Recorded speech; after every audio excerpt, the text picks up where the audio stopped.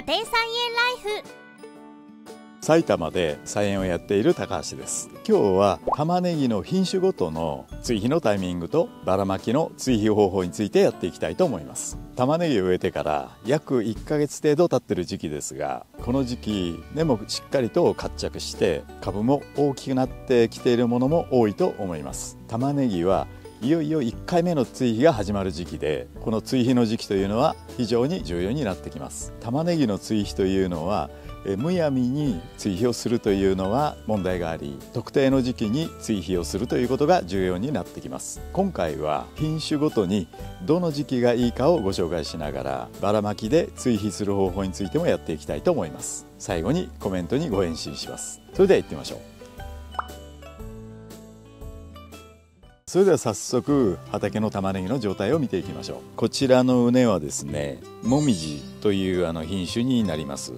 でもみじはですね奥手の品種になりますが非常にですねあの貯蔵性がよく、えー、収穫した後にですね貯蔵しておくと外側の葉っぱがですね、まあ、もみじの葉っぱのように赤くなっていくということで、まあ、もみじという名前が付けられたようです、まあ、非常に玉太りがよくですね大玉になりやすい品種というふうに言われています。こちらは全部で、えー、と約250前後ですね。これ植えてからですねもう1ヶ月以上経ってていますけれども茎もですねしっかりと立ってきてですね根がしっかりと活着してきてる証拠じゃないかなというふうに思います。続いてこちらの畝ですけれどもこちらの畝はですねネオアースというこれはあの中奥手の品種になります。これもですね貯蔵性が非常に良くてですね貯蔵方法さえ良ければですね半年以上貯蔵することができる大玉になる品種です。ただですね今年はあのご覧のようにですねこれ植えてからまあ1ヶ月ぐらい経っている苗ですけれども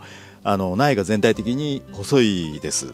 でこれはですね今年の夏のですね異常気象特にあの高温状態が長く続きましたので苗の生育が少し悪くてですねいつもの年でしたらもう少し太い苗がですね手に入っていたんですけれども今年はですねやはり全体的にあの苗の育成があまり良くなくてですね比較的あの細い苗が多いです。枯れてる苗もですねありませんしまあ一応活着は、えー、しているような状況ですね、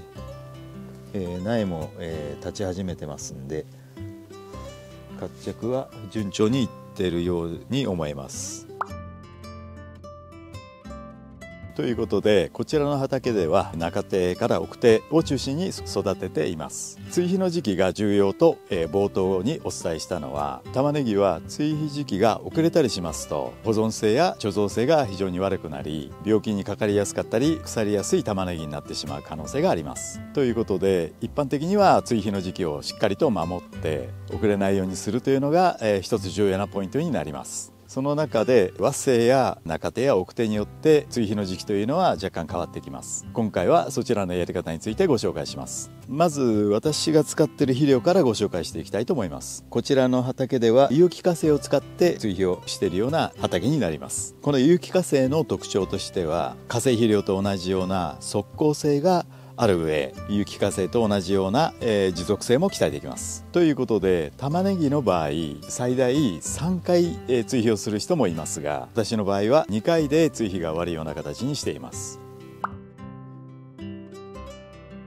それでは品種ごとの追肥の方法についてご紹介します。この有機化成を使った場合極早生品種早生品種は1回目の追肥が12月下旬から1月上旬にかけて追肥を行います。2回目の止め肥というものは2月の上旬に行います。極早生早生品種というのは早ければ3月4月の収穫になります。2月に追肥したものが肥大化に使われますがもともと早生の品種は貯蔵性には優れていませんので早早めに食べる必要があります。ただし追肥が遅れてしまうと肥大化の時期も遅れる可能性がありますので、えー、今のタイミングを参考にしてみてください。続いて中手奥手の品種ですが1回目は1月の上旬に行います。2回目は2月の上旬に行います、えー、その後3回目する方もいらっしゃるのですが、えー、私の場合は有機化成でやっていますので2回でとどめるようにしています。収穫時期としては5月6月なので投入した肥料がじわじわと効いていき肥大化に役立ちつつ早めにやっていることで貯蔵性に影響が出ないようにしています。ということで中手奥手を育てている方は特に2回目の追肥を注意してみてください。当然ですが一度に多量に与えてしまうのも NG です残費として残ってしまいますので注意してみてください。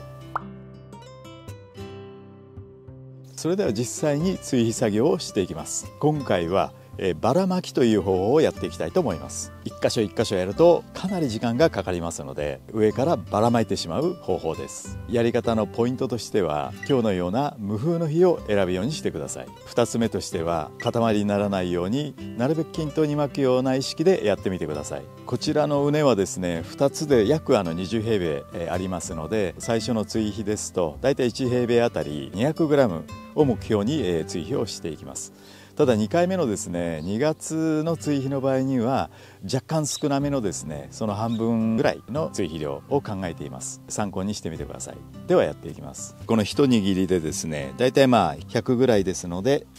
まあこんな形で巻いていきます。風があると飛んでしまうのでこのような無風の日を選んで適するようにしてみてください。なるべく均等になるようにえー、巻くように気をつけてみてください。分量が心配な方は細かく分けて使い切るようにしながら適切な量を巻くようにしてみてください。これで半分ぐらいですね。一畝終わりました。ではもう一畝やっていきたいと思います。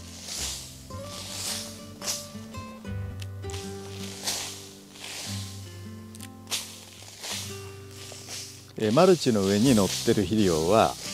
え風で穴に落ちたり、え夜露や雨によって、え流れ込みますのでそちらで十分効いていきます、え少し高い位置からこのように、え手首を使って巻いていきます。低い位置から巻くと塊になりやすいので注意してみてください。これで2畝分完了です。これを先ほどの時期に1回目を行いまして、え2回目も同様にやっていきます、え参考にしてみてください。有機化成や化成肥料は2回ほどやりますが有機肥料を中心で栽培する方は1回1月にやれば十分だと思います。ご自分の栽培に合わせてやってみてください。もう1点注意点としては品種によってはですねあまり肥料をですね、投入しない方がいいような品種もあります。その際は品種の注意書きや特徴なども確認して、作業するようにしていきましょう。